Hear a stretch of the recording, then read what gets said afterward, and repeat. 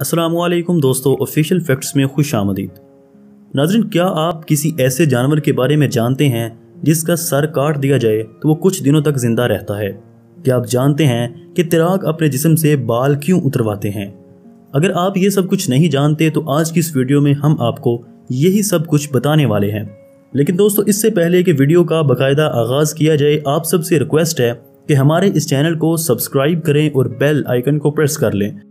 ताकि informative videos का तसलसल बरकरार रहे। तो आइए दोस्तों, शुरू करते हैं आज की इस दिलचस्प वीडियो को। फैक्ट नंबर वन दोस्तों, ये जो आप देख रहे हैं, क्या आप जानते हैं कि ये क्या है?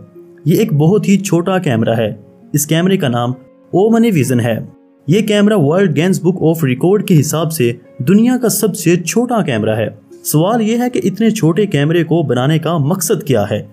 इस कैमरे को सर्जरी के लिए बनाया गया। ताकि पेशेंट के अंदर आसानी से पहुँच सके। और फिर देखा जाता है कि जिस्म की पोजीशन क्या है। और इस कैमरे की मदद से सर्जरी बहुत ज़्यादा आसान हो जाती है। और इससे पेशेंट को कोई तकलीफ़ भी नहीं होती। ये एक बहुत ही जदीद टेक्नोलॉजी है। फैक्ट नंबर टू दोस्तों, ये जो आप चिड़िया देख रहे हैं, इसका नाम गरैब है। इन चिड़ियों में खास बात यह है कि जब मेल या फीमेल ने अपने पार्टनर्स को इम्प्रेस करना हो तो इसे पानी के ऊपर चलना और दौड़ना होता है। और जो ये काम ना कर सके, उसे फिर कोई और पार्टनर नहीं मिलता। फैक्ट नंबर थ्री दोस्तों क्या आप जानते हैं कि काकरोच का सर काट दिया जाए तो वो कितने दिन तक ज़िंदा रह सकता है? इसका जवाब शायद आप जानते हो। आपको बताते चले कि अगर काकरोच का सर काट दिया जाए तो ये सात दिन तक ज़िंदा रह सकता है। लेकिन सवाल ये पैदा होता है कि काकरोच सिर्फ़ सांस कैसे लेता है? काकरोच की बॉडी में सुराख होते हैं, जिससे वो सांस ले सकता है।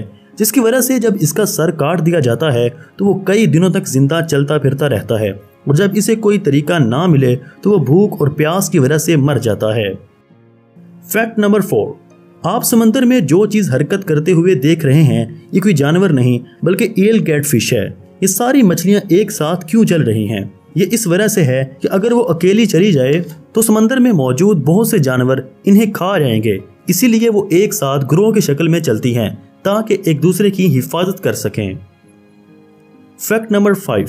दोस्तों, नाइन इलेवन की बात है जब अमेरिका में बहुत बड़ा हमला हुआ था। इस हमले में बहुत से वर्कर तकरीबन दस दिन तक लगातार काम करते रहे। लेकिन क्या आप जानते हैं कि इनके साथ एक कुत्ता भी था जो लगातार इनके साथ काम करता रहा? इस कुत्ते का नाम है पोरचैप। इस कुत्ते की आँखें काम करते करते जलने लगी थी और इसके पंजों में खून आने लगा था, मगर फिर भी वो जख्मी लोगों को ढूंढ कर लगातार इनके साथ काम करता रहा। अज़ीज़ दोस्तों, ये थी हमारी आज की वीडियो। अगर आपको वीडियो पसंद आई है तो इसे लाइक करें और अपने दोस्तों के साथ इसे ज़रूर शेयर करें। ऑफिशियल फैक्ट को सब्सक्राइब करके बेल आइकन को प्रेस कर लें। हाजिर होंगे एक नई वीडियो के साथ। तब तक के लिए गुड बाय